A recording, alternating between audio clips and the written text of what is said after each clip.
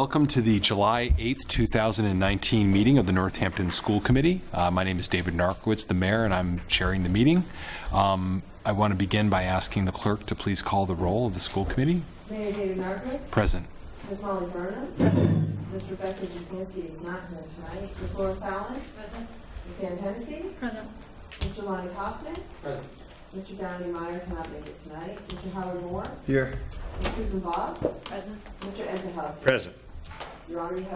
Excellent. I just want to let the um, members of the public know that this uh, meeting is being audio and video recorded. Um, We begin each meeting with a public comment period, and we ask if there's members of the public who wish to speak in public comment to please step forward to the podium. And um, I don't know if we have anyone signed up. Okay, there's no one signed up. Is there anyone who wishes to speak in public comment? Um, Was that a yes or no? Oh, Okay, all right, just making sure. Um, Okay, don't want to force anybody. Uh, Next, I'll ask if there are any announcements from members of the school committee.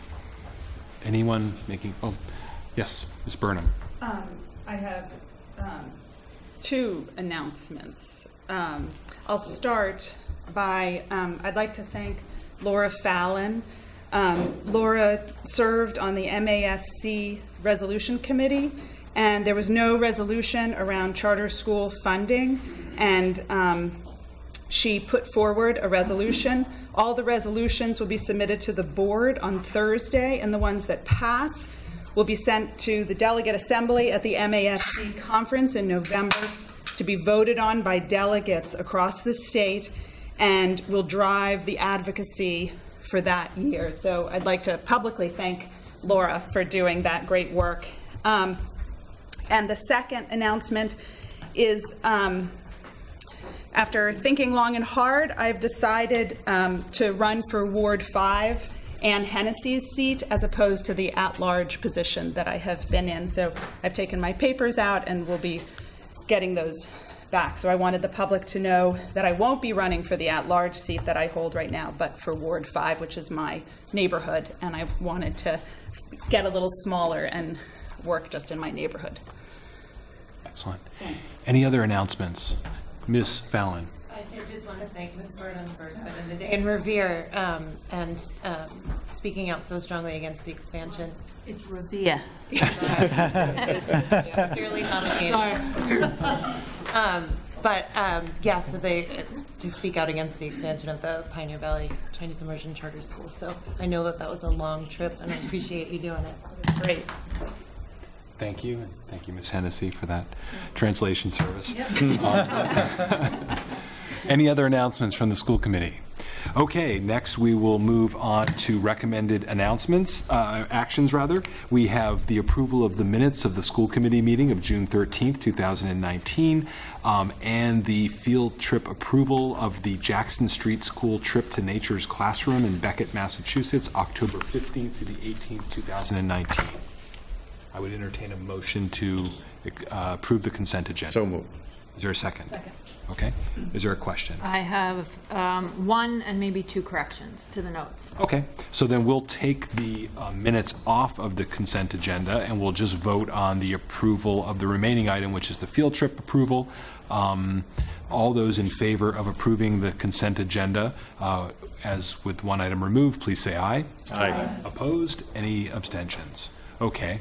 And if you would maybe make a motion uh, for the minutes with whatever amendments you'd like to see to them. Okay. Or corrections, rather. They're very minor, I think, um, but I just wanted to make sure they were correct. Sorry, I'm getting the page back. So I, the motion would be under public comment period. The second person, sh- I believe, should be Kate Dollard, um, not with a B. D- I believe it's D-O-L-L-A-R-D. I'm not sure if there's one Probably the spell checker turned it into Bollard. most- Probably. yeah. And then, I'm not sure about this, so um, others can chime in, but we have future business and meeting dates, and I recall that maybe the superintendent evaluation subcommittee was changed and did not happen on June 17th, but it appears in these notes that it might have. That was probably meant to be July. July, on Monday, the 17th? I think it's the 24th. This, It was changed because of negotiations. Yeah, it got changed because of negotiations, I remember. Yeah, It might have been, it might have been correct at the time it was. yeah. It was correct. It was on the agenda and then And it we- got changed after. Thank you. Yeah. Yeah, thanks. Okay. So would you move to approve with those two changes? I would. Okay. Is there a second? Any other uh, comments? All those in favor then of approving the minutes with those uh, changes, please say aye. Aye. Opposed? Any abstentions? Okay, so now we'll move into the reports and recommendations, and we will begin with the introduction of our new principal at Leeds Elementary Schools, Christine Wenz. And so, would you please step forward to the podium and, Short. okay? All right. Well, good evening.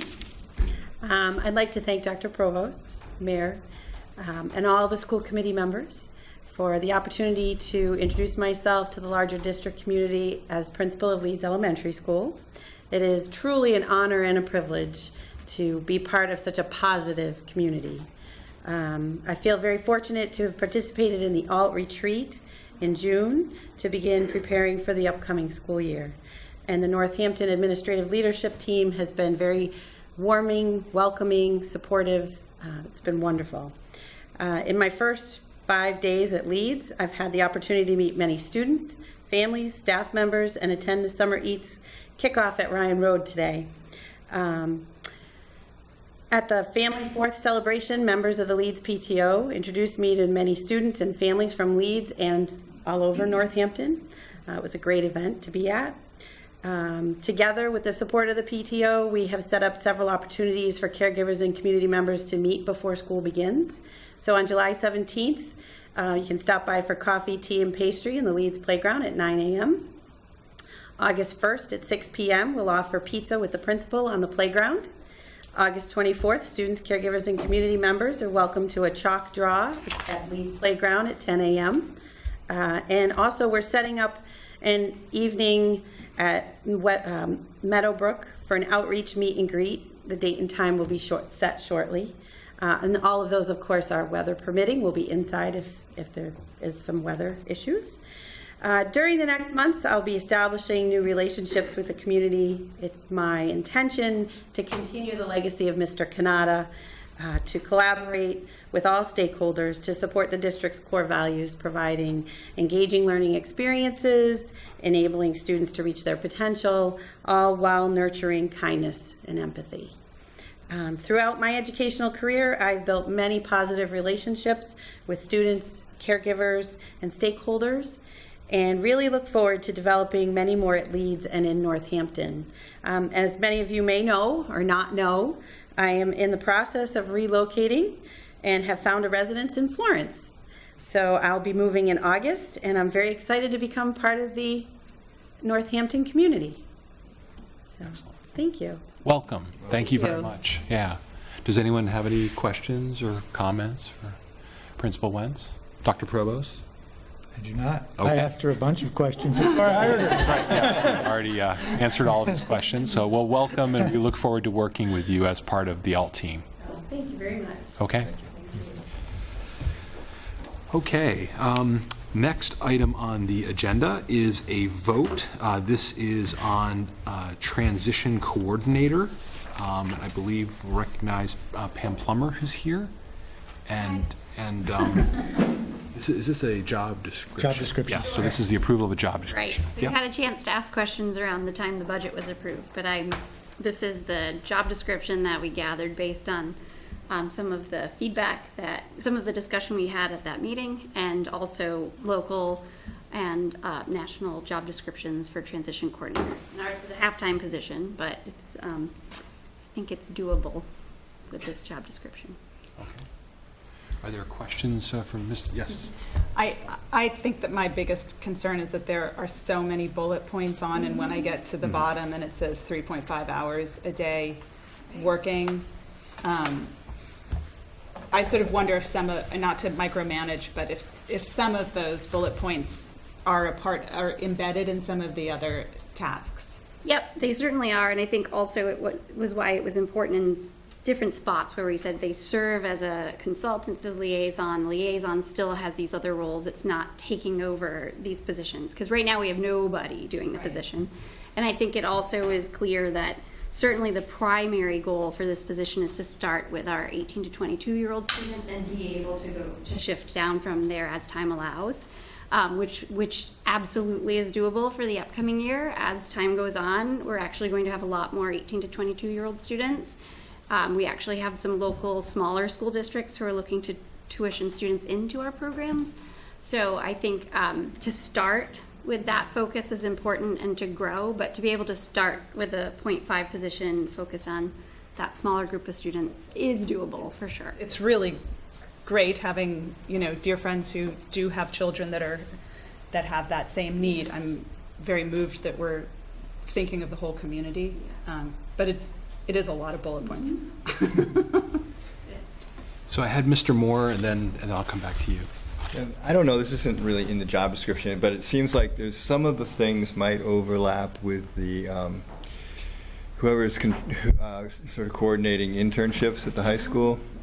And um, in terms of the bullet points, if, if there would be a way, to, you know, particularly in terms of, you know, identifying sort of, um, you know, whatever you call them, you know, jobs or placements, you know, community resources.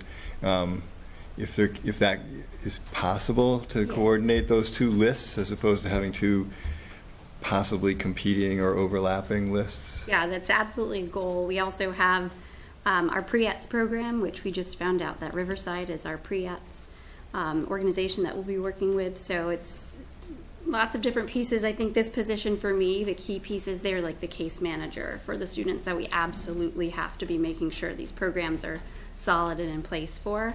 Um, but uh, yeah, the, certainly some of the internship sites, there will be some overlap, and over time, there'll be a lot more um, knowledge of where these resources in the community exist. They're there now, where our connections are just sort of, uh, they're not as strong as I'd like them to be. Ms. Voss. Um, I'm just curious how many students we have right now in that 18 to 22, and where, how quickly you see it growing, and how fast. What, what do you see it growing to in the next few years? We have a number of juniors. I don't know the numbers precisely, but Yeah. I'd say like close to a half a dozen juniors, or it, going into senior year. Actually, we have a lot of students um, going into senior year, and then we have a couple of students at Riverside, a few students who access services at um, at the Prospect Meadow Farm. We have a student who's going into the ICE program at UMass next year, which requires, they, they all just require so much troubleshooting um, and management. Um, it's not a lot of students, but it really does require a lot, being able to respond and knowing that that's, you, you as the liaison, you're the primary person and that's your responsibility. There aren't any other things on your plate. Um, but over time, we have a, a number of students coming, and as I mentioned, some students who are looking to tuition in also. So because some of these smaller towns don't have programs, so yeah. Mr. Kaufman. Thank you. So um, I, I, I share the same uh, concerns when I first read this as Mrs. Burnham. First of all, let me thank you again. You know, I'm a big fan of this and we've talked about it and stuff, so thank you for and reaching out. But it kind of feels like you've, you've, you've gotten all these great sort of potential functions and it just feels rather overwhelming for a half-time person. So um, if we're, if, I'm con- just concerned about running the risk of alienating someone that's interested and just says, I just can't do this. Can we add language that says, due to the fact that this is a .5 position, um, some of these uh, essential functions will need to be prioritized? Oh yeah, I, if that's allowable, I'm not. I'm not well versed in how the job descriptions get edited after this point, but I think that's totally reasonable. Certainly, that's how I would see it as the supervisor of this. Right, I mean, if we had full-time, would you add to this? I think we wouldn't add to this. I think we'd spread down. We'd be able to start going earlier and earlier in the students' With more students, experience. Yeah, yeah. So that was one, are you looking to Dr. Provost to say whether that's okay? or not? Well, I think, right now, they're all called essential functions, so it's hard to say that some of the essential functions are not so essential. I think the way to do it is to maybe have a list of essential functions and then have a list of other duties. Mm-hmm. And the, if you can find things that you could move from the essential function list to the other duties list. Mm-hmm. That would be helpful, I think. The other is, I didn't, in reading this, unless I missed it, I didn't know whether this was a, I know, I- this is, is this a teacher A position? Yes. so I don't think that's there.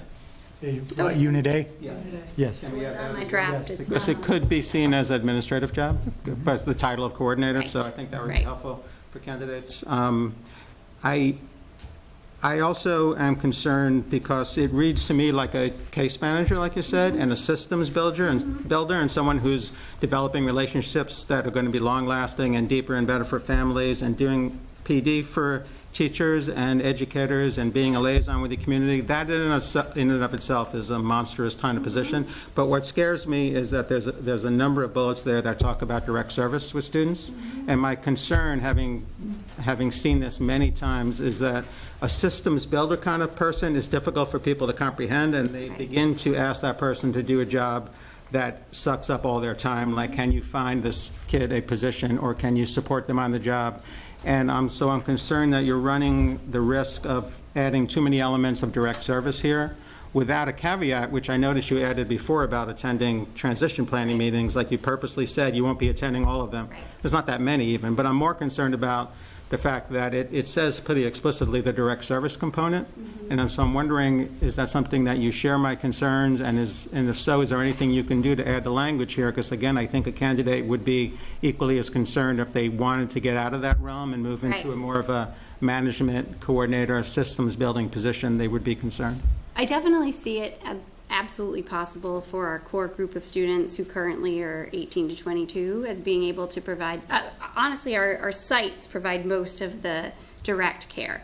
Um, but th- at this point, there's no, there's none, right? There's really no link between a person who is going between that site and coming back to the school and sharing what's happening and being able to to make those connections. So if to start, I think it's totally doable.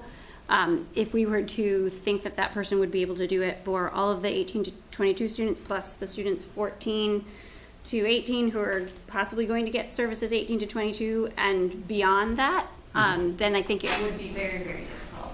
Um, but that's not what I'm foreseeing, at least um, at the beginning. We could put a caveat in. I'm- I guess I'm just confused. I mean, the, uh, bullets that say work with individual students or group of students to to prepare them for the workplace, including a a laundry list of things. Um, uh, There was about job placement, uh, working with, uh, utilizing the work-based learning plan or similar to, those, this, do you, do you understand my concern? Those are I- things that the, the sites are doing. Yeah, There's just, yeah. there has to be someone from the Northampton Public Schools who's connected to that Sure. ensure that that's occurring. Absolutely. So I don't see that they'll be creating a whole lot. Right. It's really just partnering. So the language could be different. Maybe that was what I got out of it. Similar to the language with the special education Absolutely. liaisons. Right. It's really partnering to ensure it occurs Yep. versus being, so we have our OT and our Yeah. speech language pathologists, they are doing all this direct work. Yeah. Um, But then connecting it to the work that's happening outside, I think that's the place where. I think we're saying the same thing. So when Yeah. I read it, I was concerned Okay. it's about job placement. I didn't want that person to lose the other responsibilities you want them to do. So if I'm just one person, and I read it that way, I think it would be helpful to, Yeah. to look at just making sure that, I think your, your, the wording of case management sounds good, like it's not direct service. And uh, if it was direct service, as you know, it just takes so many hours, and I think that would alienate some people that are, that are ready for this position. Yeah, I agree. Thank you. Okay. One Ms. last, Hennessy. I think this is great, and I do understand what he's saying about that one. Um, and I get the eighteen to twenty-two year old, that this, where, the- where the focus will have to be, and that this hasn't, you've been doing this with your team. My- And the high school folks have been doing, Yeah. yep. So do you feel like this will initially take a lot of your time to supervise? Mhm. And how much do you, are you concerned about that? No, Okay. good. because right now I'm You're, you're. okay. Yeah, and it's so spread out, and I, you know, counting on so many people, and to know that, you know, I, we all have a vision, and and I think it's a similar vision. It's just that person who can ensure that these three steps happen in order to make it, um, uh, in, in order to make the outcomes that we're looking for for these students happen. That's the piece that's just not there right now, and it's so hard because we all have competing, um, competing, really seriously competing issues that pop up, and to prioritize things is really hard. So to know somebody this is going to be their primary priority is just really, it feels really good. So for a little while, it'll be a little. For a little while. click. Great. Yeah. As long as it's a little while. Yeah. So, are there any other questions? Ms. Fallon, you seem puzzled. I'm perplexed uh, with all of the, if we're supposed to be voting on this in concept or voting on this actual description with all of the changes that have been suggested. I think there was just, there weren't, I don't know that there were changes that suggested. There was one um, caveat language put in. Uh, Well, there- and there was also a suggestion that they be, um, some actions, outside duties, you know, be ch- changed to outside duties. So, we, yes. Can I offer an amendment to the motion, which would be the motion as stated with the addition to leave it up to Dr. Plummer to figure out um, what makes sense in terms of our feedback and to approve it with that caveat. Okay. That'd be great, because I'd love to hire this person this So summer. that's the motion. Ms. Fallon, would you second that motion? Okay. Any other questions about the description? Okay, hearing none, all those in favor, please say aye. Aye. Opposed? Any abstentions? Okay, so that is um, approved. Thank you, thank you, Dr. Plummer. Next, we have um, a series of donations. Um, The first is a donation uh, from the NHS PTO to the Math Department, $1,000, Art Department, $1,000, Science Department, $600, Sound Equipment, $1,350, for a total of $3,950. Do you have anything to add about those? uh, No, I think that details all the information that I have as well. Okay. Make a Um, motion to accept the donation from the Northampton High School PTO in the amount of $3,950. Okay. Second. All right. Any further discussion? Hearing none, all those in favor, please say aye.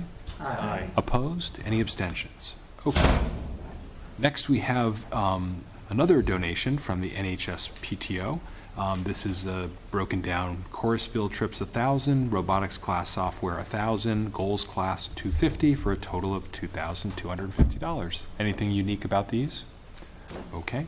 Motion to accept the gift uh, donation from the Northampton High School PTO in the amount of $2,250. Is there a second? Okay. Any questions about this one? Hearing none, all those in favor, please say aye. Aye. Opposed? Any abstentions? And then finally, we have a gift from the Bridge Street PTO to the Lego League Junior Robotics Program, $4,000. Ms. Lemica, is there anything? Uh, The only piece I'd like to add is that it's going to fund the elementary school team registrations and participation in the first uh, Lego League Junior Robotics Program. Okay. Excellent. I'm- I make a motion to accept the donation from the Bridge Street PTO in the amount of $4,000. Second. Okay. Any questions or discussion? Hearing none, all those in favor, please say aye. Aye. Opposed? Any abstentions? Okay. And once again, just a grand thank you to the PTOs for this gift of over $10,000 to Northampton Public Schools. It's absolutely wonderful. Yeah. Next, we have a report uh, from Ms. Fallon, and this is on the Collaborative for Educational Services, which she now represents the school committee on. I do. Um, And I don't know that I appreciated Mr. Moore's service in that respect until I sat on it myself and approved our first budget and needed them to, they printed out three pages of acronyms for me because everything's an acronym. All of the grants, all the state grants, federal grants, everything's an acronym. So, um, yeah, I'm, it's, it's a steep learning curve. Um, but in the process of our last meeting, um, we were looking at the, amending the Articles of Agreement. Um, and I noticed that the state law required us to report out to the school committee four times a year, but our Articles of Agreement for the collaborative said that we were to report back every meeting. And so I made the mistake of bringing it up, and there's pretty clear consensus among the 30 other members present that that was something that I needed to be doing.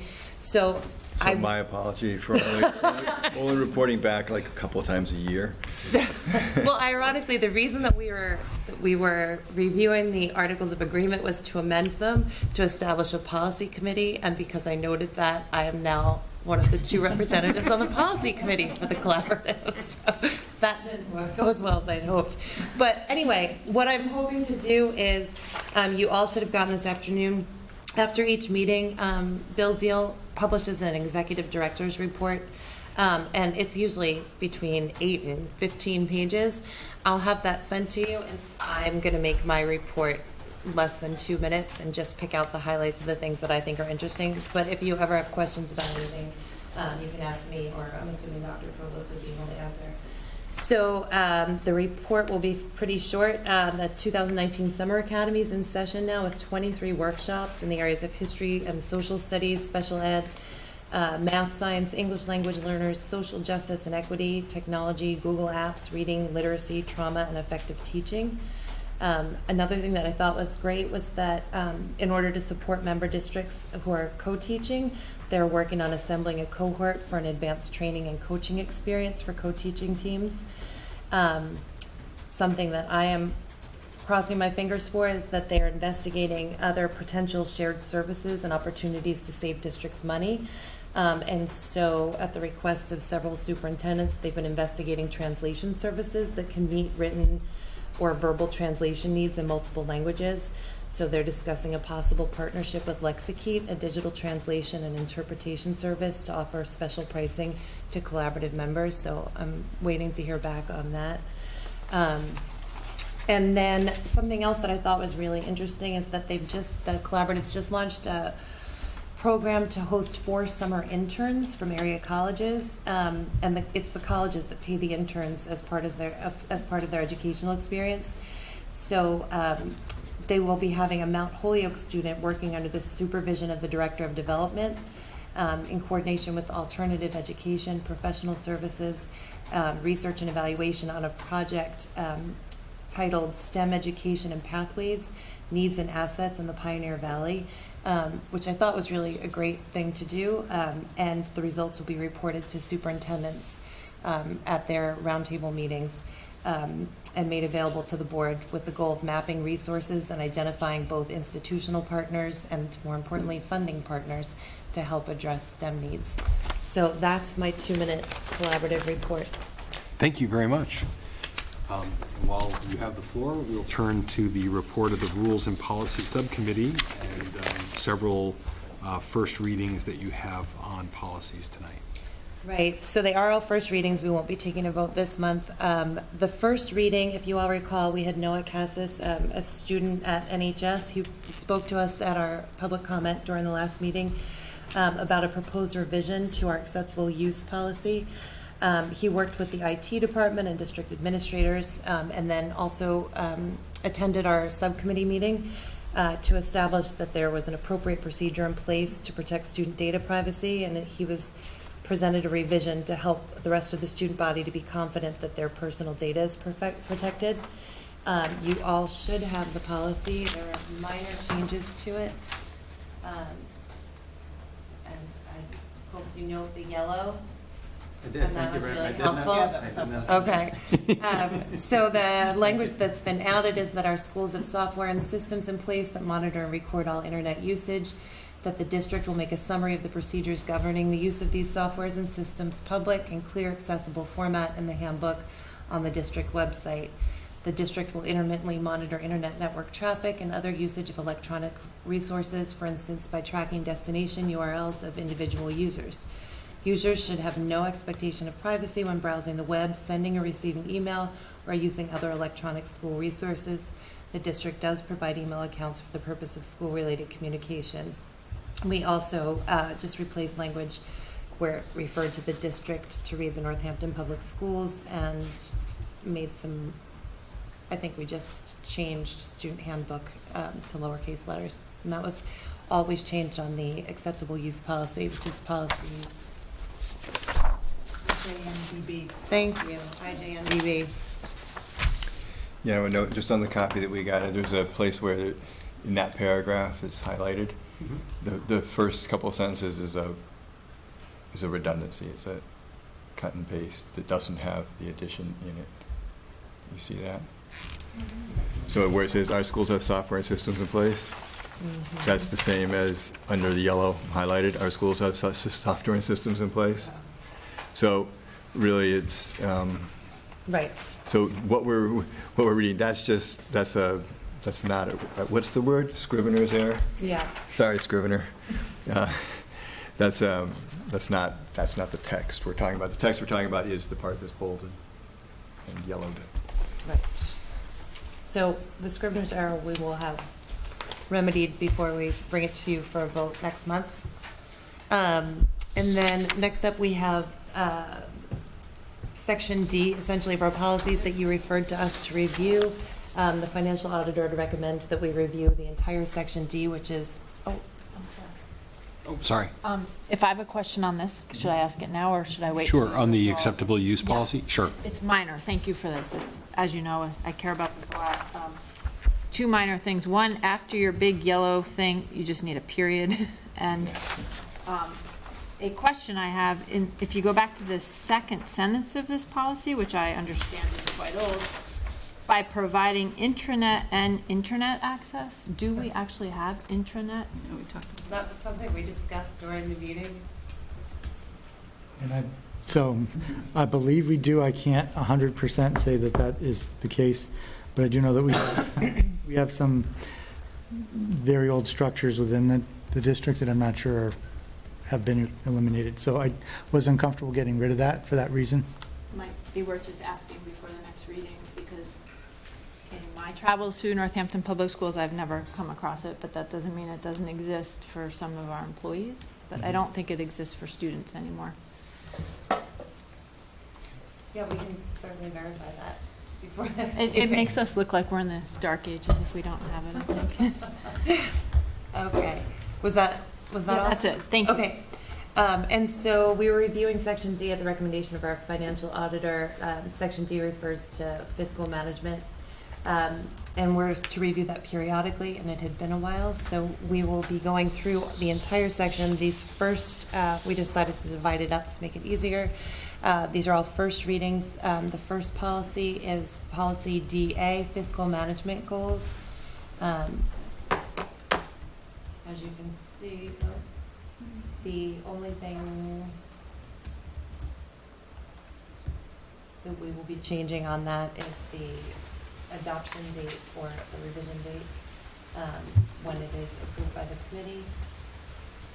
Section, I'm sorry, policy DB, annual budget, um, the language was modified, um, this was taken, um, some of it was taken from the MASC August 2016 update, because ours hadn't been updated prior to that since 2003, to read that the annual budget is the financial expression of the educational program of the school department, and it reflects the goals and objectives of the school committee to meet the needs of all students.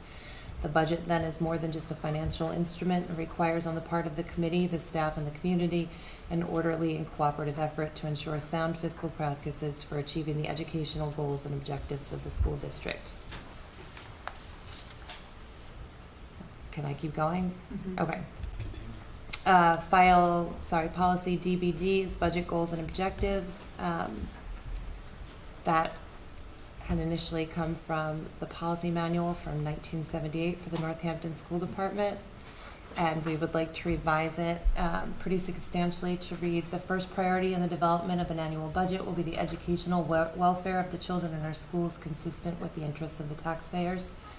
Before voting to adopt the budget, the committee will scrutinize it thoroughly so that it may be adhered to as adopted.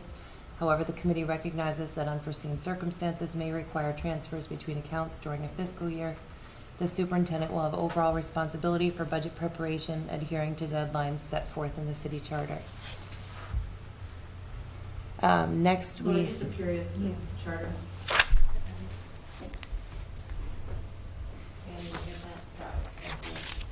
Um, next up, we have policy DBJ, Budget Transfer Authority. Um, the only change to this is in the last paragraph before, where it says, um, before the end of each fiscal year, the school committee shall hold a vote to grant the superintendent or his or her designee the authority without the, the above ten thousand dollar restriction to transfer funds to close the fiscal year books. Um, next, we have policy DD, funding proposals and applications. Um, we are proposing that we eliminate in the third paragraph, uh, the last part of the sentence to read, the superintendent will be responsible for seeking out and coordinating the development of proposals for all specially funded projects. Um, Dr. Provost had mentioned the sheer number of grants and proposals that were generated, and um, we didn't feel the need to have those submitting, submitted to the committee for approval due to the time-sensitive nature of so many of them. I'd also point out that many of those are done collaboratively through the collaborative, and oftentimes we have um, just a matter of days in order to sign on if we want to try to um, be a part of the grant that the collaborative is seeking. So it just, I don't think would be feasible to bring them all before the school committee for approval. Right.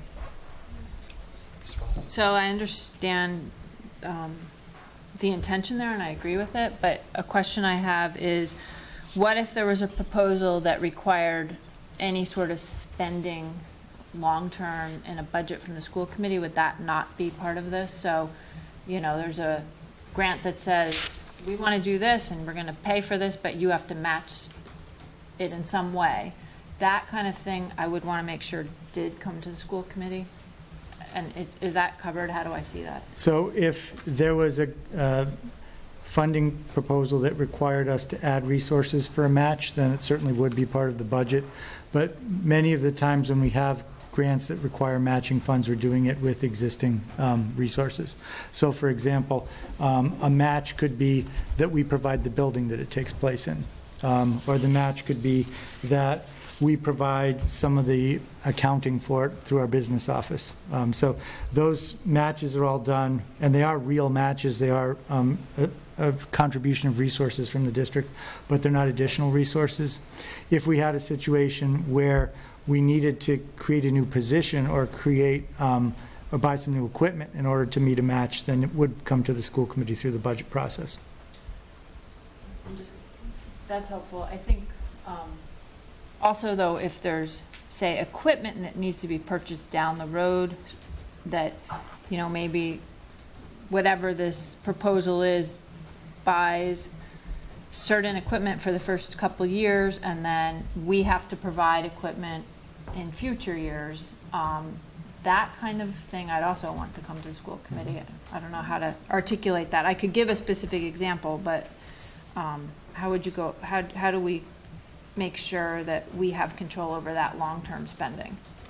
Well, I'm really not aware of any situations where you're under an obligation in order to continue to provide a match after the grant runs out. Sometimes you are during the grant period, but once they're no longer providing funding for you, there's no leverage really. Um, Sometimes there are situations where we will initiate a program based on um, resources receiving through a grant and then not be able to fund them through the budget, and then the program might end. But I, I just can't think of a situation where we'd be committing future budgets to resources by um, participating in a grant in the current budget.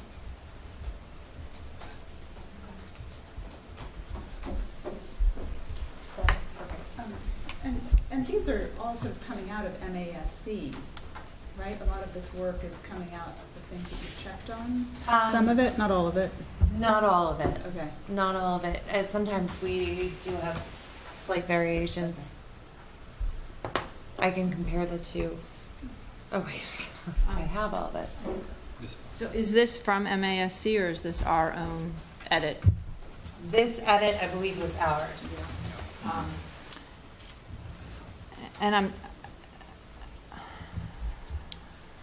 I wonder if we might want to consider modifying the edit. I understand the reason for it, and it's very reasonable, but modifying it to some extent with, um,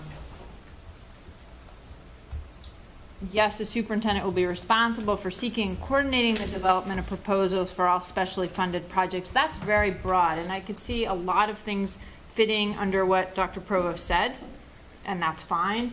But I do think there's situations where, you know, you would use some judgment and perhaps bring some of these things to the school committee. And at a minimum, I'd like to consider putting in here, and the school committee will be notified, or we're aware of it at least, so that we know what we're committing to. So I will tell you, Dr. Voss, that when I'm looking at the MASC policy, Yeah. that the, what they did do is they put a note at the bottom and said that regulations for staff investigation and submission of proposals are frequently needed to implement a policy in this area. So I guess their view was to do it through, that they understood that some of this was gonna be at the regulations level and not at the policy level, but they did include language um, in the policy that the superintendent will be responsible for seeking out, coordinating the development of proposals for all specially funded projects and for submitting the proposals to the committee for approval. Um, Ms. Voss, I'll- your, I'll give a your- your specific concerns example. about long-term I- life. I'll give a specific example, and I hesitate because I don't know all the details, and correct me if I'm wrong, I'm not trying to pick on one specific thing, but um, we have a global STEM program, which is fantastic, and it came with outside funding, but it also required some matching funding, and it serves a relatively small number of kids and is quite expensive, and it's in our budget. And I think when stuff like that comes in, um, we should be aware of what we're signing up for, and it lasts for several years. So that's the kind of thing that I would want, as a school committee member, to know that we were entering and have a sense of how much is it going to cost us over the next few years and have some conversation about instead of just letting it be. So that's one example. I don't know. Okay. Dr. Provost? And that's an example of an item that comes through the budget. Um, When we started the Global STEM program, it was part of my first few budget and then the budget that the school committee adopted for that reason. Right. Um, There was grant funding, but there was new district funds that needed to be committed in order to do it, and so that's why, um, that's why I see it separate from these other types of proposals where um, CES, for example, says, we're applying for the Title III grant as a consortium for the whole district, I mean, for all of our member districts. If you want to participate, you need to sign up in the next three days. So I wonder as a, I'm, I'm trying to hear, see this as an opportunity. So if, if we knew that we were buying, if we were agreeing to something, I, I totally hear what you're saying, but if we knew we were agreeing to something, then later on, when you came to us and said, now the grant run, funding has run out, but we want, you know, I want your approval for additional dollars, that seems like a winning mm-hmm. thing. I mean, you previously endorsed this, so not only that, but, you know, I was struck with what Laura had shared before about all the things that CES is doing, mm-hmm. and it was great to hear everything they're doing, and I didn't know which parts of those we're involved, we're involved with and, and aren't, which is secondary. But I just wonder if there's a way, uh, without giving you too much more work, but if there's a way we can know, like on a monthly or bi-monthly, every two-month basis, on which grants we have put in. You know, what are we eligible for? What are we waiting to hear about? It it would seem like an exciting way to keep up with this stuff, and it would seem like it might accomplish part of what Dr. Voss is asking for, which is we would know right up front. So it'd be kind of a win-win if that's at all doable, because I was very impressed with the fact that CES is doing all these things, so can we do a similar type of thing, uh, very briefly, to say these are the grants and the proposals that we have put in as a district?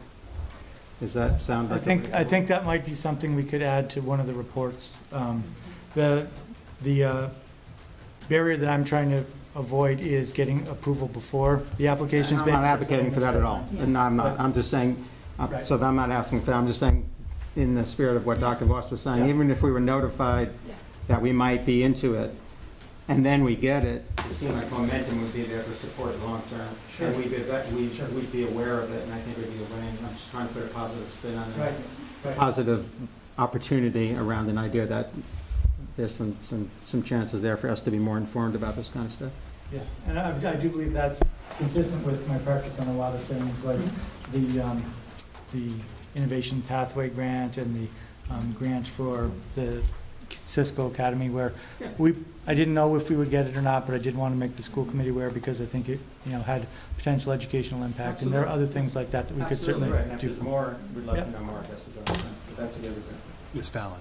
I guess I just wanted to understand, is there any reason that this approval, if you were, if there were, like, the proposal por- portion of it, I don't understand why you would need our approval for unless it was somehow a binding grant. Do you know what I'm saying? Like, if it came down to the fact that we were going to have to provide something to match, or it was gonna be a program that would need funding in the future, couldn't it come to us after the fact?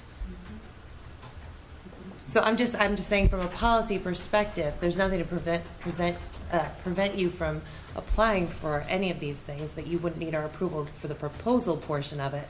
But in the, in the event that you actually were awarded the grant, I understand that's not necessarily fair to those who then wouldn't have been awarded the grant.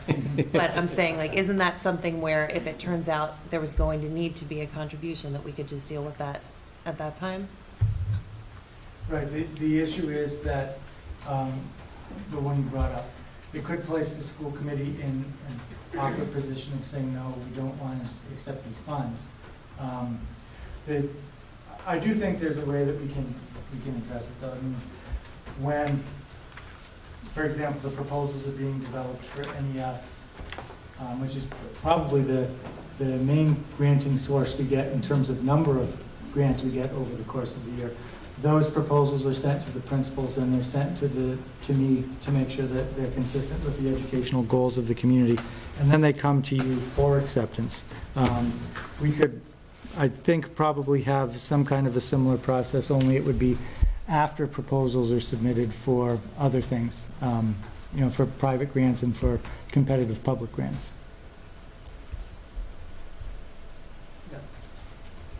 I thank you. I think what Dr. Kaufman articulated fits with um, what I was trying to get to.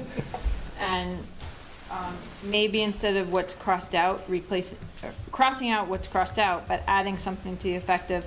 And the committee will be notified of proposals we are um, pending or part of, or however you want to word it. And then when somebody comes up and says, oh, I see that the schools apply for blah, blah, blah, we at least know what's happening and we don't look like we have no clue of what's going on. So I think that would feel like a good compromise. Wait, so remember that for next month? Sure. Because it's just the first reading, so.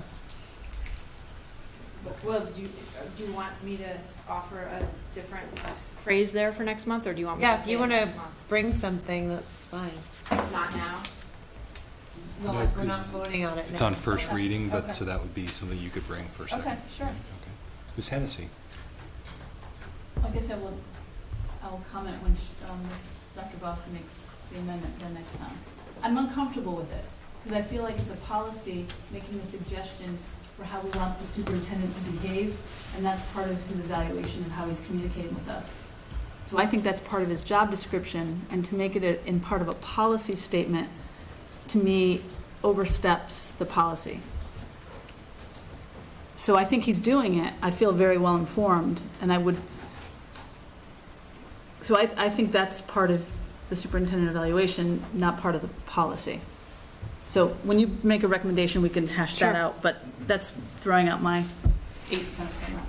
Mr. Kaufman? So um, are we still pursuing the IDARE slash policy of, ask, of bringing the uh, grant proposals, once awarded, to the school committee for approval?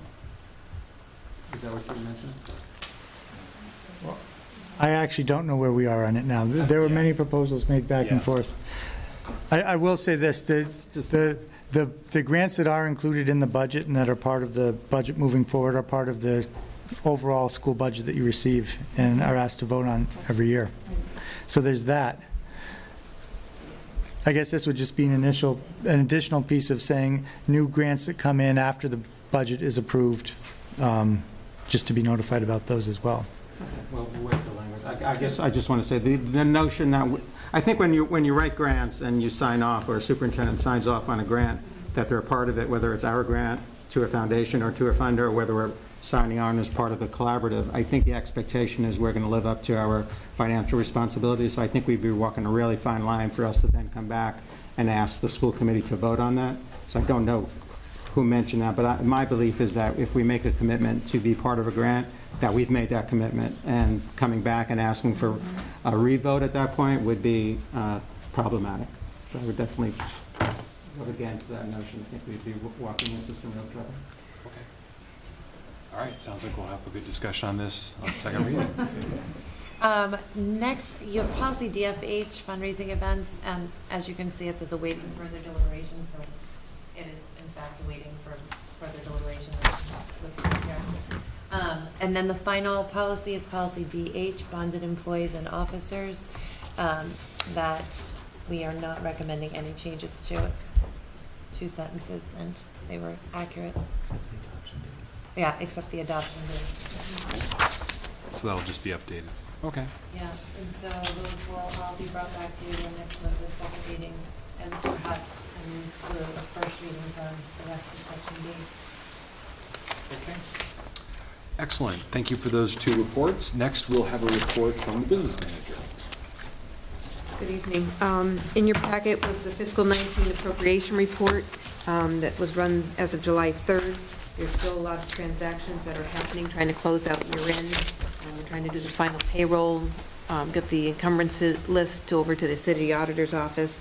So we're trying to complete all those tasks by this Friday. Um, So then we'll have a, a good standing of where we finish the end of the year. Um, So those things are still in process at the moment. Um, The gifts, we do have one gift from the PTO, um, Bridge Street PTO for $393.27 that we accepted. And also there are two warrants um, that your representative signed for bill warrants during the month of June. There's two other things that I'd like to mention. Um, We accepted online payments for the first time during June through our city treasurer's office with Unipay. Um, And we set up in the beginning for a trial, we did bus transportation, so the bus passes are being paid online if people choose to do so.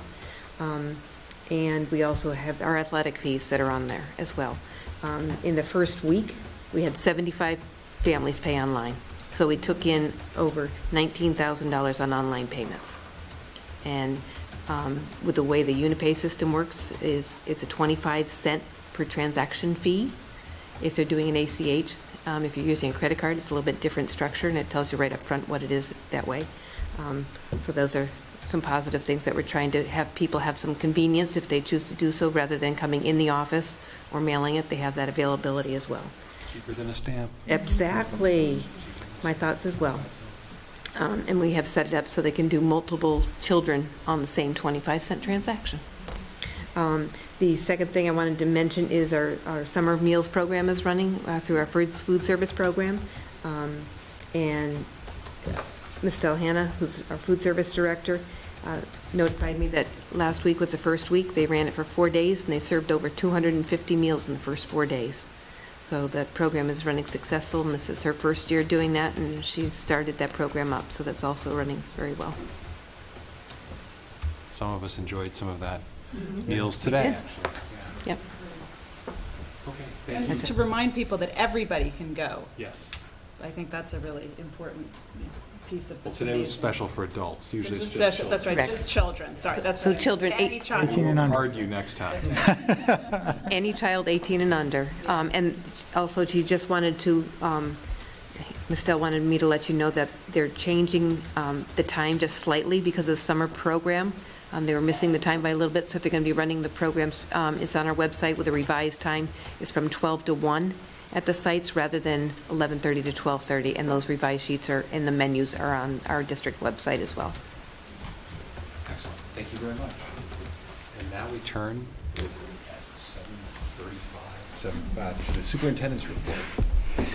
Thank you. On June 17th, the NPS All Listserv received an email that some mistook for spam. It said simply, "Dear colleague, how did you spend your 180 days?" I had to send out a second message reminding everyone that this was connected to convocation. I don't know why people forgot about convocation. Um, I thought it was a good message. Um, The convocation message, of course, was focused on the idea that time is our most precious resource of all. Because there's no measure of creative budgeting, no new technology, no curriculum that can add a single day to the instructional year. We can waste time, but we cannot manufacture it. And so it is up to us to put each school day to its highest instructional use. I'd intended the email as an invitation to private self-reflection on how our employees had spent the time that they'd been given with our students. I didn't expect that recipients would want to share their reflections with me, but many have. Um, I've enjoyed reading them, and so I'd like to follow suit by sharing my own time study with the public. My first task was to address central office and district staff turnover. Our school business administrator, transportation supervisor, food service director, and school committee clerk all left their positions at about the same time. Filling these key positions and bringing new staff up to speed was essential to maintaining operations. In all these cases, we were able to find experienced, competent, and friendly staff who've not only kept things running, but have come with a number of fresh ideas to help us better serve the public, such as Unipay that you just heard about, and such as summer meals, which you just heard about. Then, next several months were dedicated to the district review process. I will say it one last time. We submitted 1,148 artifacts to the district review team. And although we've not yet received their report, we did learn a lot about ourselves through the self-study process. We felt that we'd made tremendous progress addressing concerns that had been noted in the last district review, particularly in the areas of financial and asset management, curriculum, student support, technology, and supervision. And we were also able to zero in on assessment practices and professional development as our high priority needs for district improvement, are continuing areas of weakness. Our August professional development will focus on enhancing consistency and quality of our assessment practices as we begin heading down that path. Whether or not we're able to improve professional development will depend on collective bargaining. We still have the same amount of professional development time in our calendar that was deemed insufficient in our 2011 district review. So we'll see what happens with that. Just as the district review was winding down, the FY20 budget development process went into high gear. As has been the case for two of the last three budget cycles, we've received extensive public comment, which required us to make substantial changes between our first view budget and our final version. It wasn't quite as bad as the year when we had to construct three complete budget scenarios, but it did require some long and fairly intense additional budget meetings as the alt team struggled to work and rework and partially undo the original budget proposal. While we were working through the budget process, negotiations for a successor contract started. As you all know, this has consumed a great deal of time and energy from our office. Normally, there's a brief lull between the adoption of the budget and the end of year activities, but there was no pause this year. In addition to contract negotiations, late spring brought the news that Sal Canada was leaving Leeds, so we started the search that ultimately brought us to Miss Wentz. Three quarters into the way of the Leeds search, Mr. Lombardi announced that he was leaving the high school. I felt that I felt as if the year was coming full circle. Only instead of filling central office positions, I was now facing a wave of principal vacancies. So the pace of the work has been bustling, and the major expenditures of my time have been in the areas of personnel, budget, and program evaluation. And these are all important aspects of the job. They demanded my attention this year, leaving me little time to focus on anything else, so I think I spent my time about as well as I could have. I did miss spending time in the schools and direct contact with families, and I hope that some of the things that have been um, taken me away from that work this year, I'll be able to get back to next year as some of the things currently on my plate um, are able to be resolved. Next year, I think it'll be important for me to focus more time on spending um, spending time in schools with our new building administrators, and um, we'll also be launching two additional principal searches in the fall for the high school and for Jackson Street. And so I've begun thinking about how I can develop my professional practice goals next year to give me some intention and some focus to getting back into buildings. So that's how I've spent my 180 days, and I'm giving you a little glimpse into my intentions for the upcoming year. Uh, I hope you'll agree that focusing on these priorities for the past goal was worthy and that the ambition of spending more times in schools and more times with families in the next year is also a worthwhile goal. That's my report. Thank you, Dr. Provost. Next, we have a um, final item on the agenda is a um, executive session uh, request, and I would ask if uh, the vice chair would make a motion on that. Oh, sure. Thank you. Make a motion uh, for an executive session, request for the executive session under Massachusetts General Law, open meeting, Chapter 38, Section 21A3, to discuss strategy with respect to collective bargaining with the Northampton Association of School Committees. School employees. School, thank you, school employees. Whereas an open session would have a detrimental effect and further details would compromise the reason for going into executive session. Is there a second? Second. Okay. I would ask the clerk to uh, call a roll call vote on that, and that requires a, a yay or nay.